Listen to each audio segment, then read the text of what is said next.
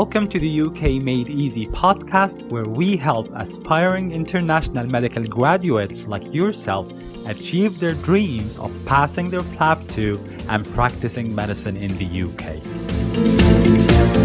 Hello and welcome to yet another episode of the UK Made Easy podcast. My name is Saif, and in this episode, we're going to talk about a term that is still confusing to many doctors. We're talking today about the term next of kin, what it means, and why is it important to understand what are the rights of the next of kin.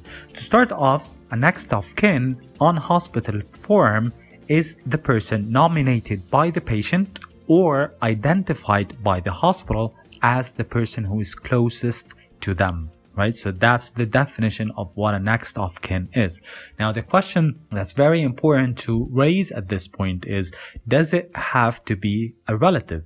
Right? Does there have to be a blood connection between the patient and the next of kin? And I had to check funeralguide.co.uk uh, for an answer for this. And what it says is that if the patient is well enough to identify their own next of kin on the hospital admission form, then this can be anyone they choose, right?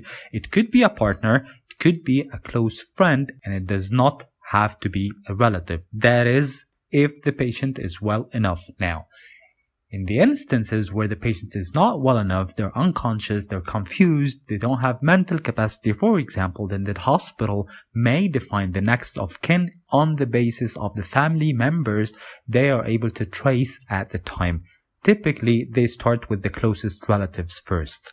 Okay, now that we've cleared that up and we understand now what next of kin means, let's talk about what are their rights at the hospital.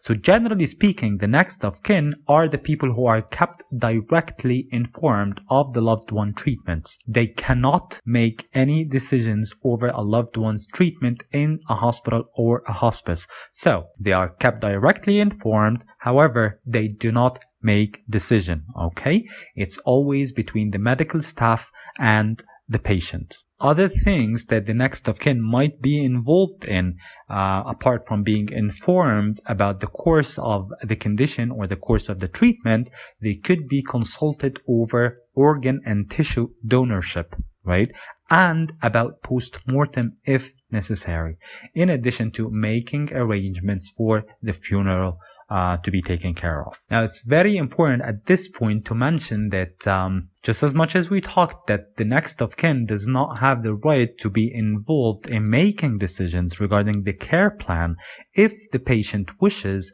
to nominate one of their next of kin to take decisions regarding their care, think about advanced dementia, for example, then that would require a legal document called lasting power of attorney.